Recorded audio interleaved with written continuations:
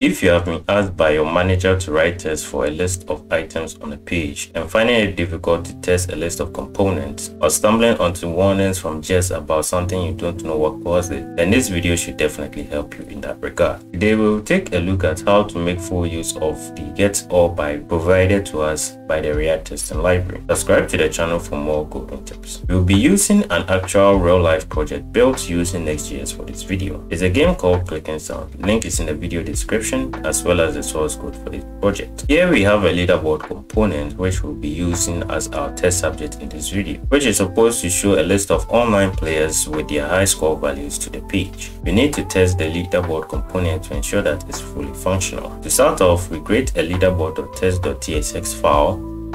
in the test directory. We import both render and screen from the testing library, then import the leaderboard component. Going back to the leaderboard component, we notice that it has a hook called use leaderboard, which returns online players using socket since it's a real-time based game. We need to mock this hook since we aren't interested in it for this video. To do that, we use the Jest mock function and pass in the path to the use leaderboard file. This will mock the hook and keep the test isolated from the socket IO. Since we are using TypeScript in this project, we need a way to get the types for the mock function. To do this, first import use leaderboard, then assign the use leaderboard to a variable using TypeScript type custom. We change the type of the variable using Jest mock function and passing the type of use leaderboard. Now we can harness the full power of type Jest mock functions. In the first test, we need to render 10 players to the document. First, we create a fixture of 10 players. Since we have mocked the hook to retrieve the players, fixtures have different kinds of meaning and in this context, we want our test to be predictable and ensure consistency with the application. So players should have the same data structure as the data returned from the player when the application is run. Using the mock use leaderboard, we return the players from the players fixture by importing players JSON file and passing it to the mock return value of the mock use leaderboard. Then render the component onto the screen using render function. I said that the list is rendered onto the page using the get by role and passing in the list role. The list is easier since the UL tag has a default role of list. To check that the total number of lists in the page is 10, we use the get all by role and pass in the list item role. This will return a list of all the component that has the role of list item and the li tag already has a default role of list item, therefore it will be returned as well. In dealing with list of returned components, assertions like to have class, to have text content aren't applicable since they deal with a single component. To assert the return list, we use the to have length to check that the total number of components rendered is indeed 10. Running the test, it successfully passes but with a warning indicating to us that the test didn't exit gracefully, meaning there might be a leak somewhere. To detect the leak, we use the detect open handles option for the CLI, which detects that socket IO is active even though we have mocked the hook making use of the API. To rectify this, we pass a second argument to the Jest mock function, which is a function that returns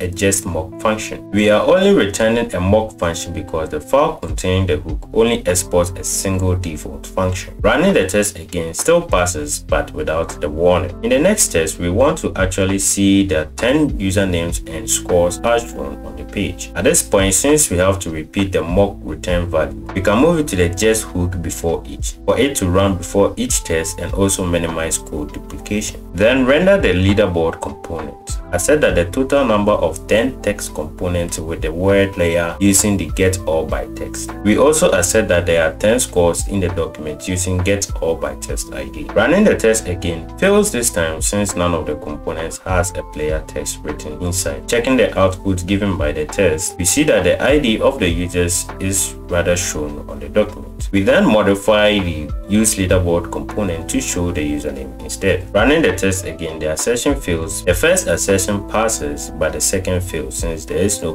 component with the test ID of score. Heading back to the leaderboard component and adding the test ID to the score component, now the tests are passing. In the next test, we want to ensure that the player is actually shown on the page and not Jest the total number of players. Using Jest each function, we pass in an array of arrays containing the test data we want to accept. Since the each function of just returns a function when it's called, we then call the function again with another bracket. This is called currying in functional program. If you want to know more about scaling and functional programming, Comment down below to see more videos on it. The second function takes in two parameters. The first is the test description and the second is a function where the test data passed to it. You might have noticed that in the test description we are using some symbols, that being percent %p and percent %d. This is to positionally inject parameters into the description. The percent %p being the username and the percent %d is the score, the number. If you are familiar with printf from C, then this follows almost the exact same principle. Comment below if you want to see more use cases of Jest each function. In a function, we are provided the username and the score for each test data. You may think of the test.each as array for each in which it will go to each